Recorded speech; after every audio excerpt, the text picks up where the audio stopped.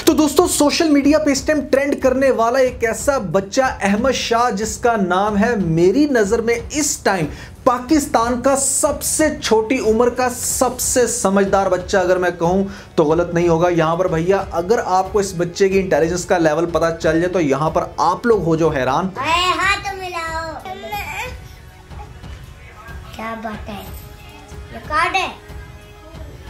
अब इस बच्चे में आखिर ऐसी क्या क्वालिटी है? किस वजह से ये दूसरे बच्चों से डिफरेंट है? यहाँ पर इसके माँ बाप ने आखिर ऐसा क्या घोल के भैया पिला दिया जिसकी वजह से इतनी छोटी उम्र में ये इतनी मज़े की बातें करता है? यहाँ पर अगर मैं ये कहूँ कि किसी मच्योर बच्चे की तरह मतलब एक ऐसा बच्चा जिसकी उम्र हो 10-12 साल, उसके जैसे ये बात करता है, यहाँ पर बहुत अच्छे से रिस्पॉन्ड करता है तो आखिर आप अपने बच्चे के अंदर इस तरह की क्वालिटीज कैसे लेके आ सकते हो? यहाँ पर अहमद शाह जैसा बच्चा आप लोग कैसे पैदा कर सकते हो? भैया, आज मैं आपको देने वाला हूँ पाँच ऐसी टिप्स जिनको अगर आप फॉलो करते हो तो आपका बच्चा भी यहाँ पर इतना जहीन हो सकता है और इसी तरह से रिस्पॉन्ड कर सकता है। तो भैया वीडियो आज की तमाम पेरेंट्स को मैं कहूँगा, लाजमी देखें खास तौर पर वो लोग भी जिनकी अभी भी शादी होने वाली है। ऐसे में ये वीडियो आपके बहुत ही काम आएगी, क्योंकि इस वीडियो से एक्चुअली आपको पता चलेगा कि किन स्टेप्स को फॉलो करके आप अपने आने वाले बच्चे को बना सकते हो। यहाँ पर काफ़ी ज़्यादा इंटेलिजेंट बिल्कुल इस बच्चे की तरह।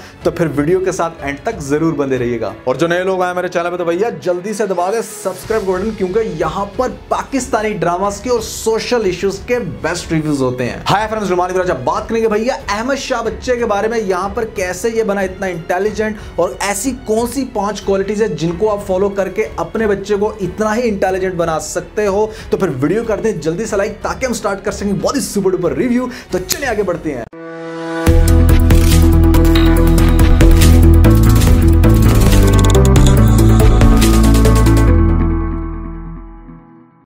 दोस्तों, आपको सारे पॉइंट बताऊँगा एक सीक्वेंस से और आपने इसी सीक्वेंस से फॉलो करने जिसमें पहला पॉइंट जो आपने जहन में रखना है, वो है हाई बर्थ रेट यानी कि बच्चे की पैदाइश के टाइम उसका जो वेट हो, वो अच्छा हो, यहाँ पर बच्चा हेल्थी हो। अब अगर डेढ़ साल का बच्चा इस तरह की सेहत रख रहा है तो आपको एक बात जहन में रखनी चाहिए कि ये इसकी डेढ़ साल की सेहत नहीं है, बल्कि ढाई साल की तकरीबन सेहत है। उसकी वजह यह है कि जब प्रेगनेंसी होती है, यहाँ पर जो भी कपल प्रेगनेंट होता है, अब बहुत सारे लोग मुझे कमेंट सेक्शन में कहेंगे, भैया कपल प्रेग्नेंट नहीं होता, यहाँ पर लड़की प्रेग्नेंट होती है तो नहीं। जब भी आपकी वाइफ प्रेग्नेंट हो, आप लोगों को ये ना कहा करो कि शी इज़ प्रेग्नेंट बल्कि कहा करो वी आर प्रेग्नेंट ये अच्छा भी लगता है और काफ़ी एथिकल है। खैर, जब आप लोग हो प्रेग्नेंट तो यहाँ पर आपको अपनी वाइफ की सेहत का काफ़ी ख्याल रखना है स्पेशली वो माए जो डाइटिंग कर रही होती है। मतलब मैं इतना हैरान हूँ कि प्रेगनेंसी के दौरान भी वो इस तरह की चीज़ें खा रही होती है कि हाँ हम बहुत ज़्यादा वेट ना गेन कर जाए। नहीं, आपका गोल होना चाहिए कि आपका बेबी बहुत हेल्थी हो, आप हर तरह की अच्छी चीज़ खाएँ। बहुत हेल्थी बहुत अच्छी डाइट लें और बिल्कुल भी इस चीज़ पर फोकस ना करें कि आपका वेट कितना बढ़ रहा है, जितना भी बढ़ रहा है उसको बढ़ने दें। आपका कंसर्न ये होना चाहिए कि आपका बेबी बहुत अच्छी हेल्थ कंडीशन में इस दुनिया में आए उसका बहुत ही ज़्यादा आपको फ़ायदा देखने को मिलेगा। जो बच्चे बहुत अच्छी हेल्थ के साथ पैदा नहीं होते, यहाँ पर वो फ़िज़िकल होते हैं, काफ़ी वीक तो वो इतने अच्छे से कोई भी टास्क कुछ भी अच्छा परफॉर्म नहीं कर पाते, ना वो सही से खा पाते हैं, ना उनका दिमाग इतने अच्छे से चलता है। तो भैया, मैं यहाँ पर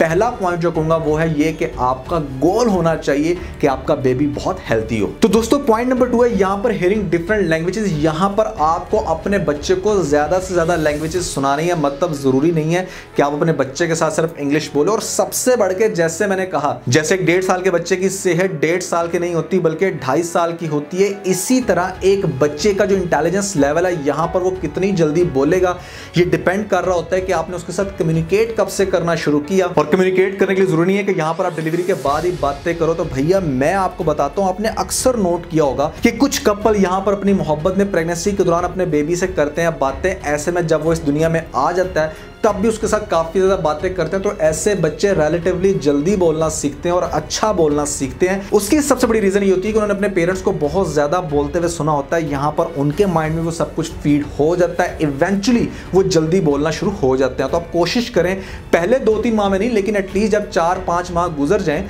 तो आप कम्युनिकेट करने की कोशिश करें। यहाँ पर आप अपने बच्चे से बात करने की कोशिश करें या कुछ भी अच्छा बोलें, इससे आपको खुद भी अच्छा फील होगा और सम आपकी बच्चे के ऊपर भी काफ़ी इंपैक्ट आता है और खास तौर पे फिर जब वो आज इस दुनिया में, आप उसके साथ ऑन एंड ऑफ़ कम्युनिकेट करें, ये मत सोचें कि इसको मेरी बात की कौन सी समझ आ रही है, यहाँ पर अभी नहीं आ रही तो बहुत जल्दी आ जाएगी। तो पॉइंट नंबर थ्री है, यहाँ पर नीड लेस स्लीप टाइम यानी कि ऐसे बच्चे जो इंटेलिजेंट होते हैं, जो जल्दी बोलना सीखते हैं, वो रिलेटिवली कम सोते हैं। और उसकी सबसे बड़ी रीजन ये है कि जो पेरेंट्स पहले दो स्टेप्स को बहुत अच्छे से फॉलो करते हैं मतलब यहाँ पर बच्चे की सेहत अच्छी है, और दूसरे नंबर पर बच्चे के साथ बहुत देर से कम्युनिकेट कर रहे हैं तो ऐसे बच्चों को आदत हो जाती है, ज़्यादा सुनने की, ज़्यादा कुछ ना कुछ बोलने की तो ये बच्चे ज़्यादा देर तक नहीं सोते, ये बच्चे कम सोते हैं, जिससे इवेंचुअली जब बच्चा कम सोएगा तो यहाँ पर ज़्यादा सीखेगा। यहाँ पर ना हमारे पेरेंट्स का ना एक कॉन्सेप्ट बन गया कि भैया अभी तो ये न्यू बॉर्न बेबी है, इसको तो 24 24 घंटे ही सोना है मतलब ये 24 घंटे बाद ही आँख खोलेगा। नहीं कोशिश करें कि जब वो आँख खोले, आप उसके साथ बात करें, आप उसके साथ कम्युनिकेट करें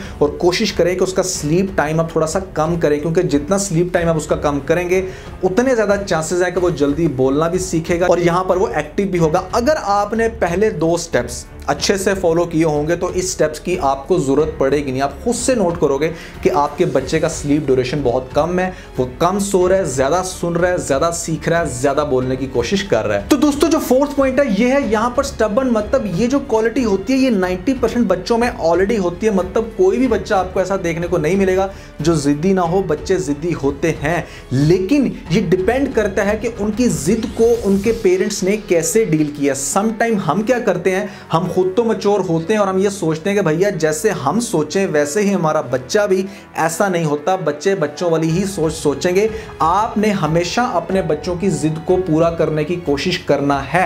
अगर आप उनकी जिद पूरी नहीं करेंगे तो होगा क्या कि उनके अंदर काफ़ी ज़्यादा डिमोटिवेशन आ जाएगी। वो नेक्स्ट टाइम वो काम दोबारा करने की कोशिश नहीं करेंगे, जिससे इवेंचुअली वो बहुत कम सीखेंगे। इस पर तो आजकल मेरे ख्याल से वो ऐड भी चल रहे है, जो मेरे ख्याल से आप लोगों की नज़रों से भी गुजरा हो, जहाँ पर माँ को ये सिखाया जाता है बच्चा अगर कहे, अम्मी, मैं बिल्ली से खेल लूँ, अम्मी, मैं वॉल पे पेंट कर लूँ तो माँ को यही कहा जाता है कि हर बात में हाँ करें, ना नहीं करें, क्योंकि आपका बच्चा वेल प्रोटेक्टेड है। और उसकी सबसे बड़ी रीज़न ये है कि जब आप अपने बच्चे को मोटिवेट करते हो, जब अपने बच्चे को कहते हो कि हाँ ठीक है, करो समटाइम वो इतनी अच्छी एक्टिविटी नहीं होती, लेकिन अलाउ करो अपने बच्चों को, क्योंकि वो उनकी इंटेलिजेंस के लिए बहुत ज़्यादा ज़रूरी है। यहाँ पर उनकी ग्रोइंग के लिए उनके कॉन्फिडेंस के लिए वो बहुत ज़रूरी होता है तो अपने बच्चों की जिद को पूरा करो। लेकिन किसी ऐसे तरीके से कि उनको ऐसा फील ना हो। जब आपका बच्चा कुछ करना चाह रहा होता है और आगे से आप उसको डांट के बिठा देते हो तो भैया उसके जहन में बहुत बड़ा खौफ आ जाता है कि ये तो भैया ऐसा है, इस पे तो ऐसा हो जाएगा, जिसकी वजह से इवेंचुअली वो सेल्फ कॉन्फिडेंस खो बैठता है, जिसकी वजह से वो इतनी जल्दी लर्न नहीं करता। और नंबर फाइव पे जो पॉइंट है, ये भी काफ़ी इंपॉर्टेंट है आपके बच्चे की इंटेलिजेंस को बढ़ाने के लिए, और वो है प्रॉब्लम सोल्वर यहाँ पर आपको अपने बच्चे को प्रॉब्लम सोल्वर बनाना चाहिए। इस तरह के उसको खिलौने ला के दे मतलब गाड़ी या गुड़िया के बजाय आप उसे इस तरह की चीज़ें ला के दें जिससे वो खुद से सॉल्व करने की कोशिश करे और सबसे बढ़ के कुछ टाइम के लिए अपने बच्चे को रूम में अकेला छोड़ दें। ज़रूरी नहीं है कि आप हर वक्त उसके साथ चिपके रहें। हर वक्त उसको गले से लगा के प्यार करते रहते जो पेरेंट्स हैं। भैया, अपने बच्चों की इंटेलिजेंस लेवल को एक्चुअली में कम कर रहे होते हैं। ये मैं नहीं रिसर्च बता रही है। इसलिए अपने बच्चों को थोड़ी देर के लिए कमरे में अकेला छोड़ दें। इस तरह के खिलौने उनको दें जिसको वो खुद से सॉल्व करें। यहाँ पर उनके अंदर कॉन्फिडेंस बढ़ेगा, उनको काफ़ी हद तक पता चलेगा कि इस तरह की प्रॉब्लम को कैसे सोल्व किया जाता है, उनका आईक्यू लेवल भी बढ़ेगा और इवेंचुअली आप देखोगे कि आपका बच्चा बहुत कम एज में काफ़ी ज़्यादा इंटेलिजेंट आपको देखने को मिलेगा और लोग काफ़ी ज़्यादा इंप्रेस होंगे।